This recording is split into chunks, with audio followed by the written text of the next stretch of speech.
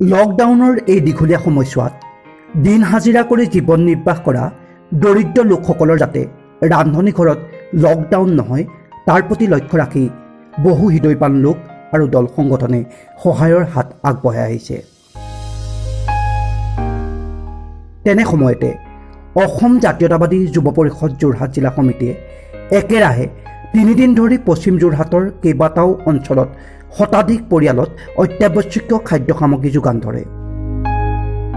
লগতে অসম জাতীয়তাবাদী যুৱ পৰিষদৰ কেন্দ্ৰীয় সমিতিৰ বিষয়ববীয়া খগেন দাসে প্ৰতিজন লোকক সামাজিক দূৰত্ব বজাই ৰাখি তলাবন্ধৰ এই সময়ছোৱাত ঘৰতে থাকি নিজৰ পৰিয়ালটোৰ লগতে সমাজখনক সুস্থ ৰূপত জীয়াই ৰাখিবলৈ ৰাইজক আহ্বান জনায়। Rituraj Bora report prime north east Jorhat.